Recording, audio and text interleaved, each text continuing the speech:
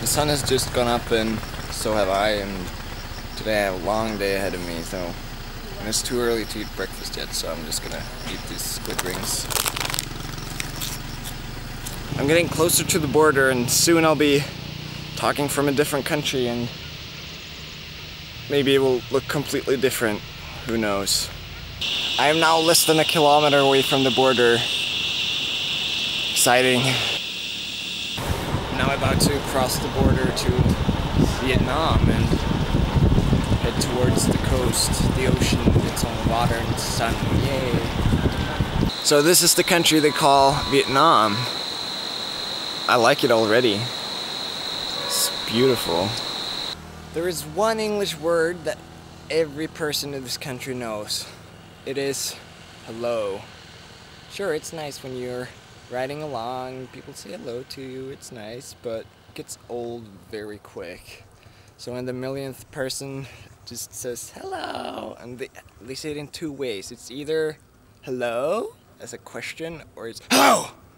So you kind of get sick of it after a while, but they're nice. It's only to be nice. I am now sitting here in a little shop along the road, eating cookies and drinking Coke.